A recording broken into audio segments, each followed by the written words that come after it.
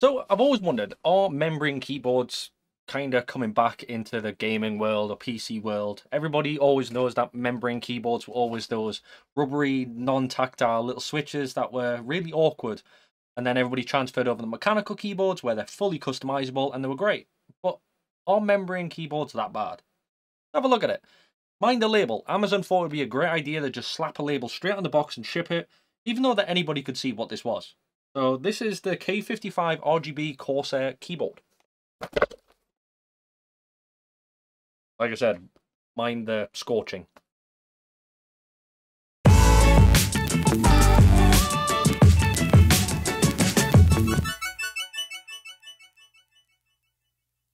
Now, if you're interested in getting some amazing deals when it comes to Windows 10 and Windows 11 Pro OEM keys, please stick to this video and I'll also be sharing with you some cheeky little discount codes so let's just jump straight into it.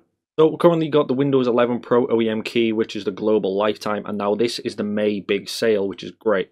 But if you do use the discount code SKJT and then click on apply, it's going to knock off another 25% to your already reduced price, coming in at 23.46. Now, if you can get a better deal than that, please let me know. So VIP SCD key do also offer Windows 10 Pro OEM keys, which is coming in at 22.58 but again, if you use the discount code SKJT, it will drop you a further 25% off. But the good thing about this, it allows you a free upgrade to Windows 11 Pro as well.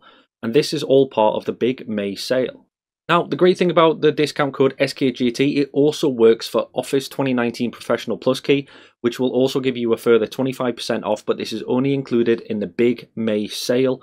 So please do check the links in the video description for the best chance to get the cheapest OEM keys you can get. So as always, we're going to get this unboxed. Uh, still can't believe Amazon shipped it with a label like that. Anybody could have got this, but hey, you know. So anyways, this is from Corsair. This is a gaming keyboard. This is per-key RGB backlighting, macro keys with Stream Deck, so you, they are uh, accessible with a Stream Deck. It is IP42 rated spill resistant, and this is the K55 RGB Pro XT with iCUE technology. So let's get into it, see what we've got. So like I said, we do get a little warranty guide, nothing exciting. Uh, then we also get a safety and compliance information guides. Yes, thank you very much. So we have the keyboard itself as well as the wrist guard. Quite a nice wrist guard there going on. A little Corsair logo in the middle. It's got quite a, it's more of a rubbery feel, I guess. So obviously when you've got your wrist on it, it's going to be quite comfortable, I guess. And that just clips together that, very nice. Yeah, just clips together. There's two little clips at the bottom there, gets together quite nice. But I want to know, what, I've, I've owned a few membrane keyboards in, in the past. Uh, they're not the best, but they're not the great, uh, they're not the worst, you know, so... And he's spending, what, what was this, 75, 80 pounds here in the UK, so not the best. But then again, it all depends on what kind of user that you are with this. So let's have a little look first. So we do have all black theme going on. The top is more of a polished uh, glass theme, uh, which is quite nice, don't get me wrong. The wrist strap at the bottom is made out of more of a rubber material. It's plastic underneath, but then coated with rubber, so it's quite nice and soft in your hand. You do have six uh, macro keys on the left-hand side, so they are customizable through the Stream Deck. Uh, if you do have a Stream Deck, if not, you can customize them through the iCUE website, uh, software, sorry. So we have the modes, uh, RGB, as well as lock button at the top, as well as our four uh, four LED indicators, obviously your num lock, scroll lock, and all that sort of stuff, and then your lock. We do have some media keys at the top, so this is mute, and then increase or decrease the volume. And then we do have more media keys at the bottom, which is in the stop or play or skip a song. And then again, this is a full 100% keyboard with numpad as well as full keyboard style. Now, like I said, this is a wired keyboard. The wire itself is, I'm, I'm sorry to say, but it, it's very cheap. It is. Apart from the actual knuckle itself, so if it's going to focus. So you do have a nice Corsair logo going on there. Then they've braided the bottom to make it a little bit better. So don't get me wrong, the RGB itself doesn't look too bad. Uh, it's good. So obviously, we can change this by the button at the bottom. Oh, so the only so we can change this through different functions.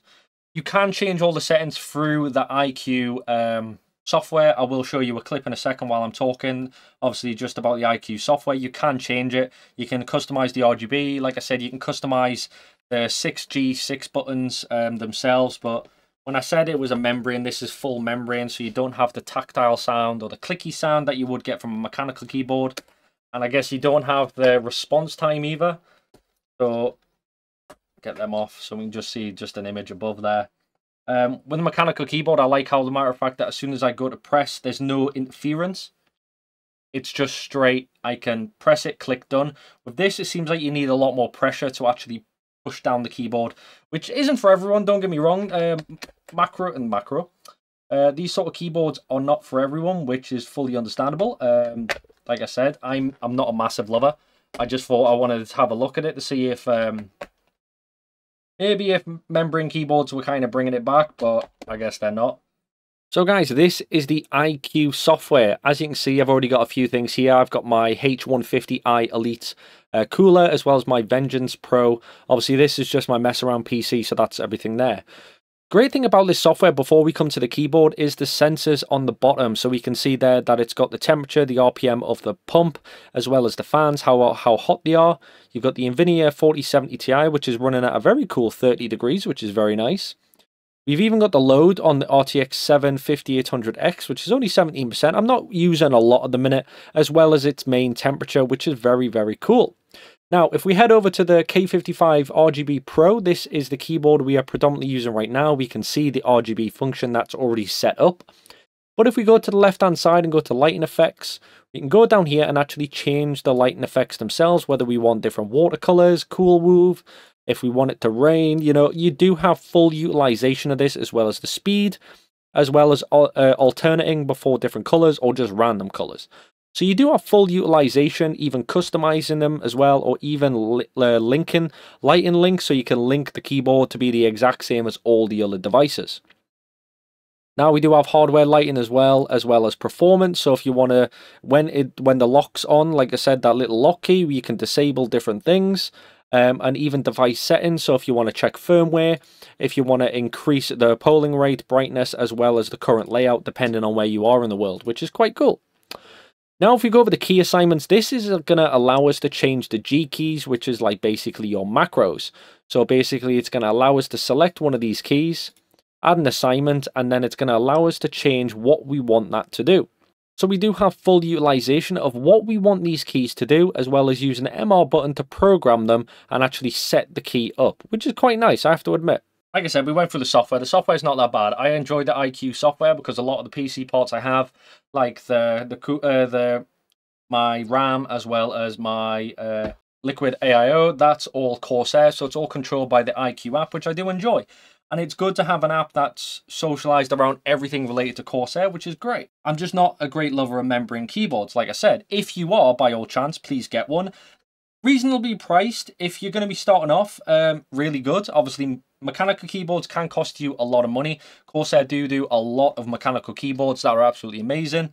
Um, I personally go with Logitech because I prefer them, but everyone has their own preference. But there we have it. Just a little simple video about the Corsair keyboard. Um, we went through some of the specs. Obviously, nothing, nothing major, nothing exciting. Um, all in all, it's not actually a bad little keyboard. The RGB is not too bad. Like I said, can be controlled through the iCUE app, which is quite nice. I wasn't a lover of the cable, and I'm not a lover of the membrane keys. I prefer more of a tactile click obviously but again that is personal preference but if you are interested in a membrane keyboard with full utilization of uh, messing around the rgb lights as well as the macro keys as well as your media keys then this is pretty much going to be the best bet for you I think the one thing I did like about it is the media keys at the top. Some keyboards do have a little scroll wheel. They drive me they drive me insane. But having the three buttons at the top, yeah, I, I, I see where they've gone with that. So I do quite enjoy it. So if this is maybe is something that you want to get your hands on, please do check the links in the description. There'll be a link there. But if you do have any questions, don't forget to like, subscribe, and hit the notification bell. Drop me a comment if you need help with anything. I am more than happy to help. But by all means, I'll catch you in the next video.